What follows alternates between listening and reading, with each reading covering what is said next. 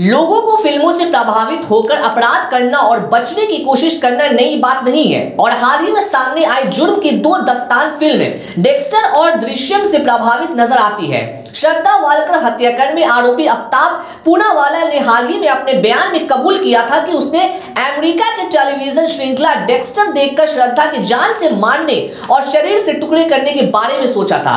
वहीं social media पर इन दिनों एक नफरत भरा वीडियो तेज़ी से वायरल हो रहा है, जिसमें एक शख्स कहता है कि, मैं होता तो गुस्से में 35 के बजाय सैतीस टुकड़े कर देता।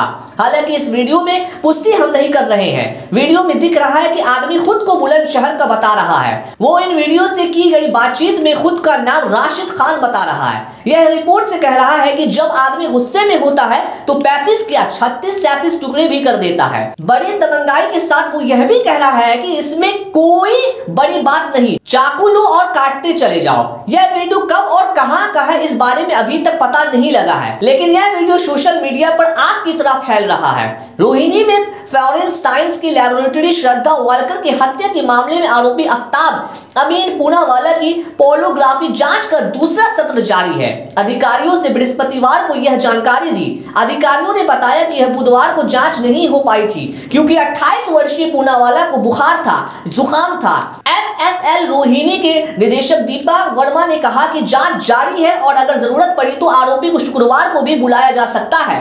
अंबेडकर अस्पताल के सूत्रों ने कहा कि पॉलीग्राफी टेस्ट पूरा होने के बाद पूनावाला का मेडिकल परीक्षण किया जाएगा और परिणाम दो दिनों के आने का उम्मीद है। आरोपी के मेडिकल रिपोर्ट आने के बाद ही उसका नार्को टेस्ट कराया जाएगा। सूत्रों ने कहा कि पूनावाला का नार्को टेस्ट सोमवार को किए जाने की संभावना है। पॉलीग्राफी जाँच के रक्तचाप नब्ज और सांस की दर जैसी शारीरिक गतिविधियों की रिकॉर्ड को किया जाता है। और इन आंकड़ों का इस्तेमाल यहाँ पता लगाने के किया जाता है कि व्यक्ति सच बोल रहा है या नहीं।